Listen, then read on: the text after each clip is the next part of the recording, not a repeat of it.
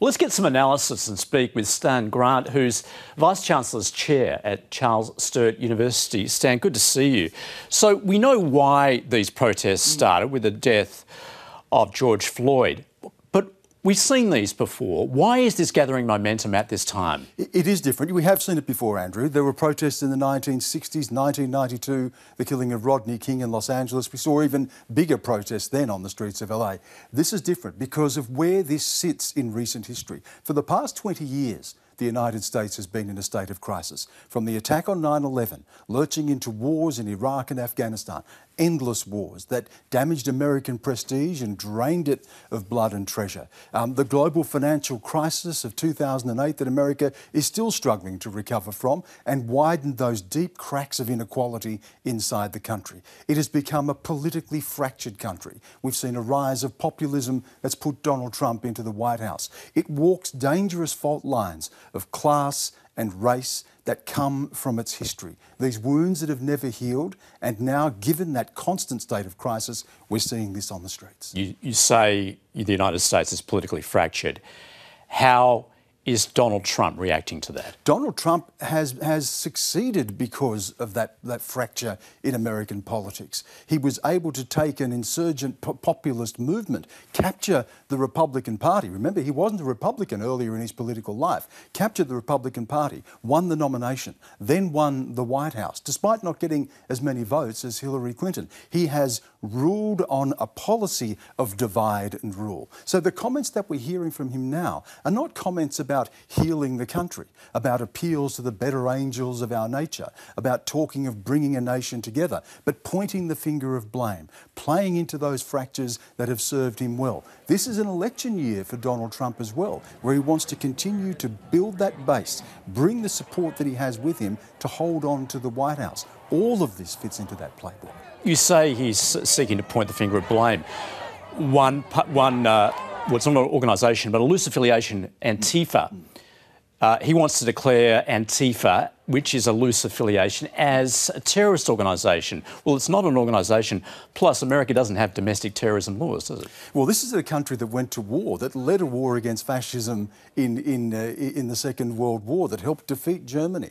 Um, and now it's a, a, country where a president is saying that those people who stand up and oppose fascism are enemies of the state effectively wants to declare them terrorists. But what we need to do, Andrew, is we need to look at this in its entirety.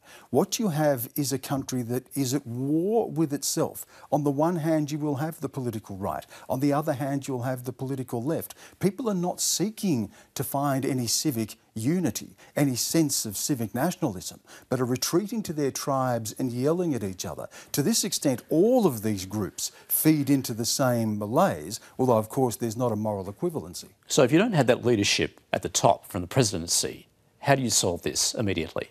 Well, at the moment, of course, to play into the fractures of a country is exactly what the populist playbook demands. And that's what's been successful around the world. Look at Europe, where the resurgence of the political right, tapping into a, a populism there and anger amongst its, its population, has seen many of those politically right countries return to power or increase their hold on power in, in Europe. We're seeing a far right group now, the third biggest political party in, in Germany, in the German parliament. In Hungary, you have someone like Viktor Orban who openly boasts of an illiberal democracy. The populist playbook is working in so many parts of the world, and it's worked for Donald Trump. Barack Obama, of course, talked about COPE, didn't he? He talked about lifting a country above its past. There are no red states or blue states, there are just the United States. Well, in many ways, Barack Obama's legacy is Donald Trump. That's what followed the Obama years. Yeah, because there was a lot of criticism while he was in office and after he left office that he didn't do enough to heal race relations. Yeah, and of course, the first black president of the United States, a hugely symbolic and historical moment.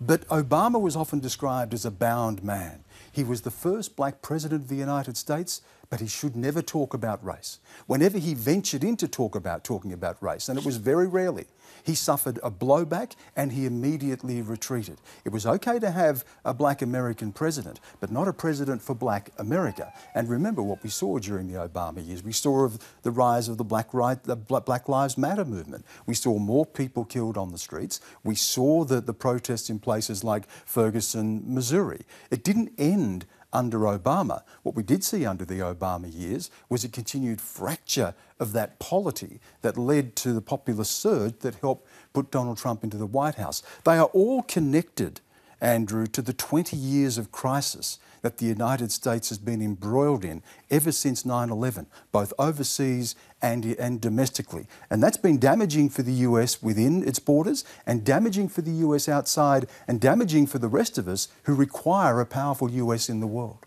Stan, thanks for your analysis. Yeah, it's a pleasure. Thank you.